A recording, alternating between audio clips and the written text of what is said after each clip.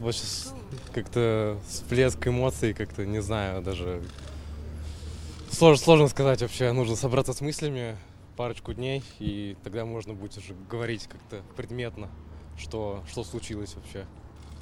Скажите про последние полтора месяца, про ваш быт, про то, с кем вы общались в это время, кто вас поддерживал. А, я скажу, это самые такие насыщенные полтора месяца в моей жизни, пожалуй. А, люди на свободе вообще не представляют, а, какая это система по перемалыванию душ, судеб.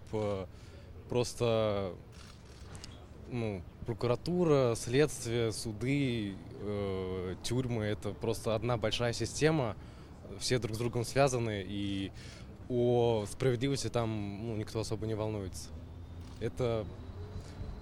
Я даже не знаю, просто нужно столько всего менять, а с чего начиня... начинать даже вот, ну, непонятно.